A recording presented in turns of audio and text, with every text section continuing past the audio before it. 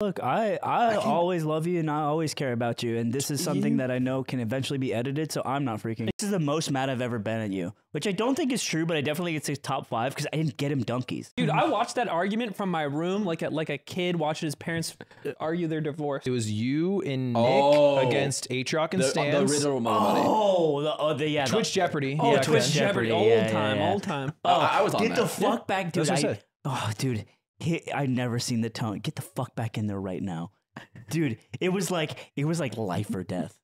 That was Because it was crazy. your career was on the line. That's what I'm saying. We wouldn't be here right now. It's true. if I didn't get my ass back mm-hmm. in that You- fucking